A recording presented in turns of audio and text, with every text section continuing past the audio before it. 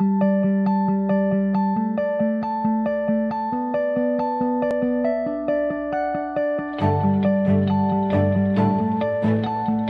I want to congratulate on behalf of the city of Burnaby,